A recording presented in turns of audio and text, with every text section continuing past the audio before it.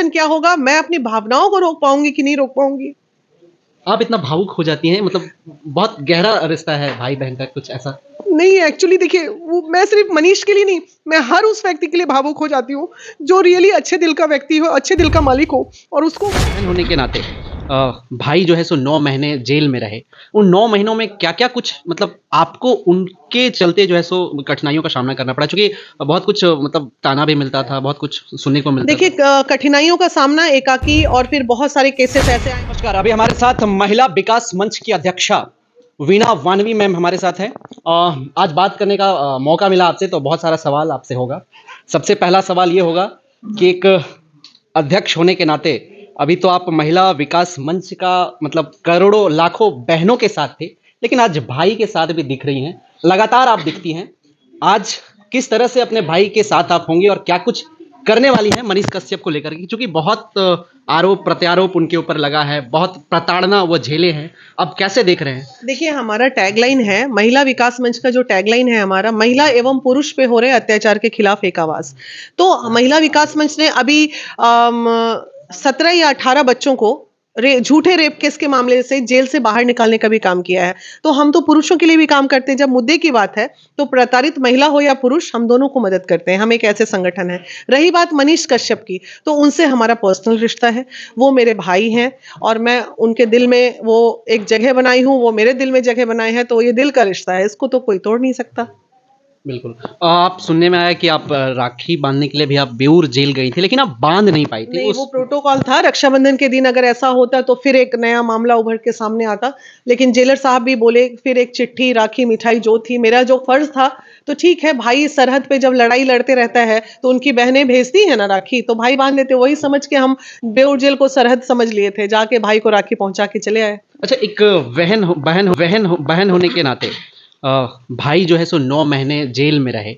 उन नौ महीनों में क्या क्या कुछ मतलब आपको उनके चलते जो है सो कठिनाइयों का सामना करना पड़ा चूँकि बहुत कुछ मतलब ताना भी मिलता था बहुत कुछ सुनने को मिलता देखिए कठिनाइयों का सामना एकाकी और फिर बहुत सारे केसेस ऐसे आए जहाँ वो प्रखर रूप से हमें लेकिन उनके नहीं रहने पे एक चीज़ जो सामना करना पड़ा वो जातिवाद का जो कि फील आ गया कि नहीं वो उनके आसपास के कुछ लोग थे जिन्होंने ये भावना पे हमें कटाक्ष किया और वो दुख बहुत सीने में लगा कि मनीष का इतना करीबी आदमी जब जान रहा है कि बहन एक तरफा लड़ाई लड़ रही है, सरकार से लड़ाई लड़ रही है, सरकार के अगेंस्ट जाके खड़ी है भाई के लिए, वो तब वो मेरे साथ गलत कैसे कर सकते हैं?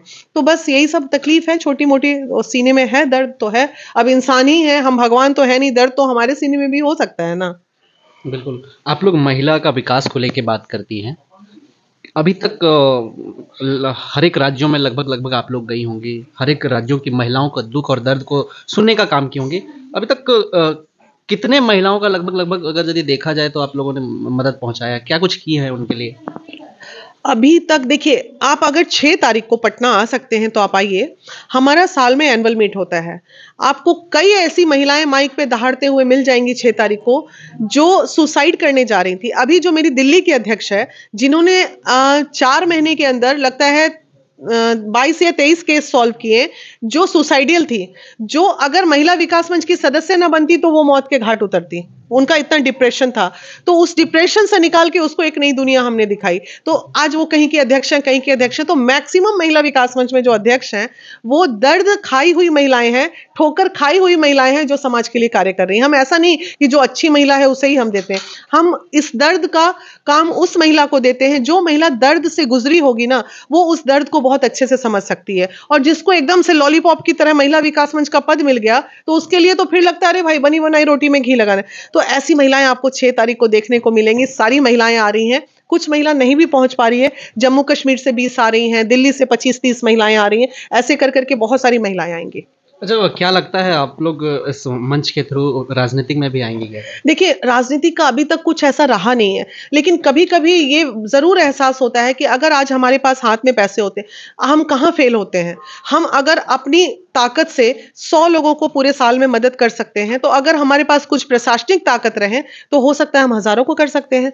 तो जो आप नहीं कर सकते, वो हम कर सकते हम माननीय मुख्यमंत्री जी से क्या गुहार लगाते हैं? आपके यहाँ जो झारखंड की अगर बात कर लें सुदेश महतो जी और प्लस बन्ना गुप्ता जी, इन तमाम लोगों ने झारखंड में महिला विकास मंच को बहुत मदद किया है। कुछ भी होता है तो झारखंड सरकार तुरंत हमारी बात सुन लेती है। उत्तर प्रदेश सरकार तुरंत हमारी बात सुन लेती है, लेकिन बिहार सुनबे नहीं करती। तो हम करें तो करें क्या? तो यहाँ पे तो कोई सुनवाई नहीं होती ना केस में होती ना हमारी बातों की होती। हम बोले अगर आपका महिला आयोग काम नहीं कर रहा है तो आप ये काम महिला विकास मंच को दे दीजिए। हम तो ऑलरेडी कर रहे हैं।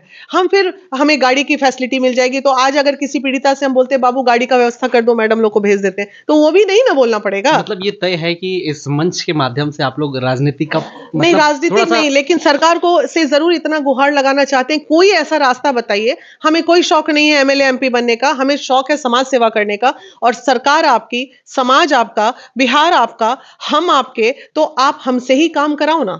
आप अगर देख रहे हो कि महिला इतनी मेहनत कर रही है, इतनी महिलाओं को रोज़गार दे रही है, ये दे रही है, अगर 25 25 मशीन खान सर हमें दे सकते हैं तो सरकार हमको 100 मशीन नहीं दे सकती, इतना थोड़ी बिहार सरकार कंगाल बैठा हुआ है।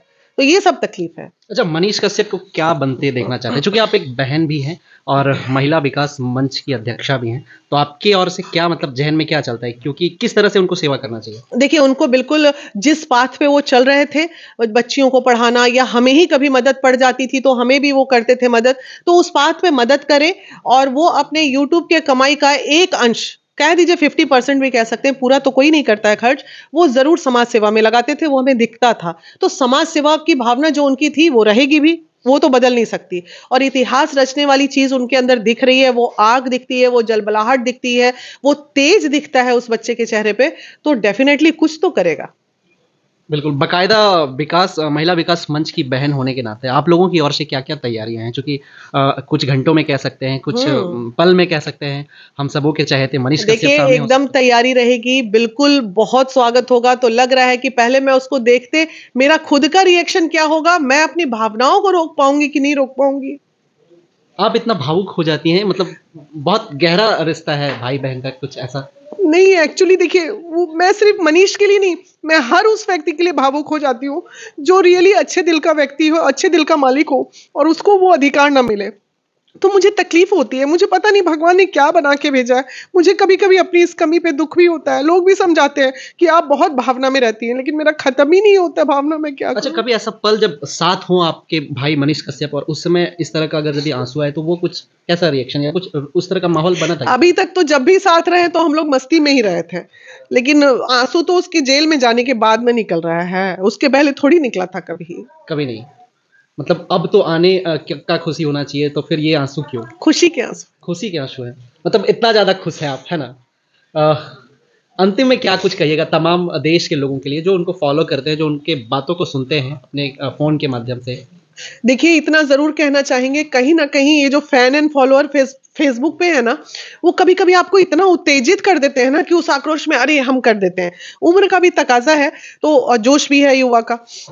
तो उसको थोड़ा वो संभाल के रखें, कछुए की चाल चले, थोड़ा अपने में संयमता और शांति लाएँ, बस वो बहुत अच्छा करेंगे लाइफ में।